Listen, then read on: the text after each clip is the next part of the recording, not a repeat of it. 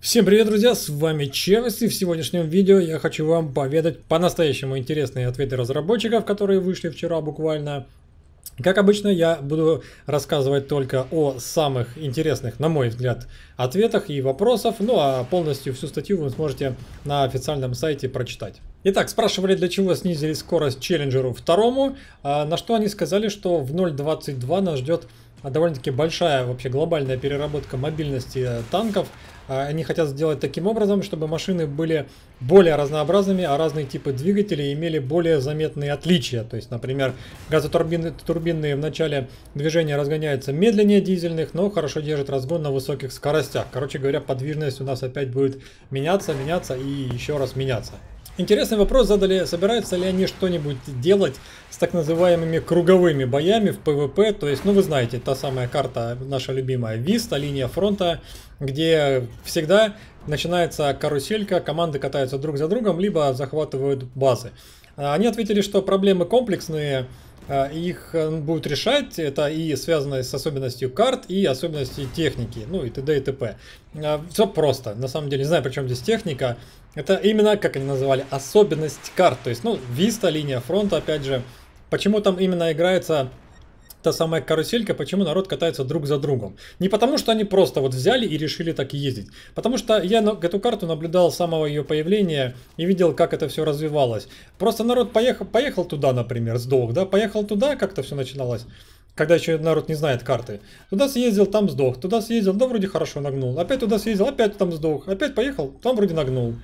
И все. И таким, э, собственно, методом проб и ошибок э, вот такой вот теперь геймплей у нас на этой карте. А все почему? Да все просто. На левом фланге, если смотреть с нижнего респа, левый фланг просто-напросто дисбалансный. Он сделан так, что с верхнего респа его лучше давить. И все. Просто это именно особенность самой карты, такой рельеф там. И поэтому Естественно, народ понял, что с верхнего респа этот фланг хорошо давить. Поехали, поехали, поехали, продавили, всех убили. Те, кто до сих пор, я не знаю, зачем туда ездит, там умирают и все. И поэтому сейчас народ катается по кругу, потому что он понимает, что если поехать на левый фланг, там сдохнешь. Если поедешь на правый фланг, есть хороший шанс либо базу захватить, либо всех убить. Вот и все. Проблема только в этом. Кстати, кто-то у меня спрашивал как раз по поводу того, что э, всем советским танкам улучшили перезарядку вот недавно, но объекту 187 нет. Они ответили то, что перезарядку улучшали только тем танкам Т-серии, у которых произошла модернизация АЗ, автомата заряжания, под использование более длинных бобсов. У объекта 187 АЗ не улучшался. А подскажите, почему ОВС начали наносить такой большой урон в лоб башни ОБТ? Вы считаете, что броня лба башни танка не снижает воздействие снарядов? Вопрос на самом деле дурацкий и некорректный, нифига подобного. Если ты просто стрельнешь прям в лоб башни, тому же, например, Абрамсу, фугасами сейчас, то ты вообще никакого урона не нанесешь. Другое дело, если снаряд попадет возле, например, погона башни, рядом с погоном башни, то именно урон пройдет через него. Ну, в общем, они ответили, что как раз таки именно урон проходит э, через погон башни, как правило, а не через саму башню. И они планируют сделать урон более равномерным, распределив его пропорционально площади участка. Урон не будет, так сказать, затекать в щели в броне. Ну, в общем, фугасы будут дорабатывать это естественно. А теперь самый топчик. Вопрос на миллион. Планируете ли вы вводить инспектор брони? Внимание, ответ – да, в этом направлении уже ведутся работы. Появление индикатора брони запланировано в версии 0.23, черт возьми. Не когда-нибудь в ближайшее время, в ближайших планах, как это было уже полтора года. В обновлении 0.23. Сейчас у нас обновление 0.21, то есть, ну, в общем-то, совсем скоро.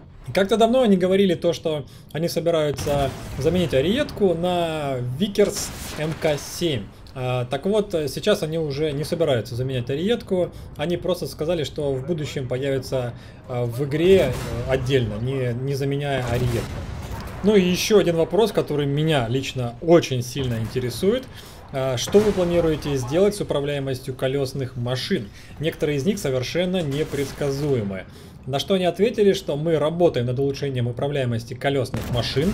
Реакция техники на управление станет более быстрой. Кнопка ручника позволит совершать более крутые развороты. Ну, слава богу, хотя бы они в курсе, что управляемость колесной техники не к черту, и ее нужно дорабатывать.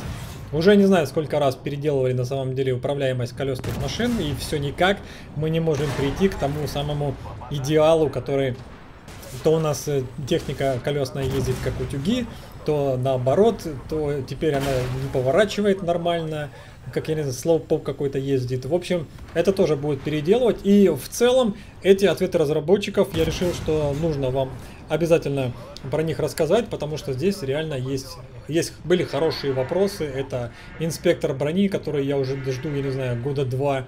Э, это колесную технику. То есть, ну, в целом работа ведется, и я надеюсь, и дальше все будет двигаться в таком же направлении.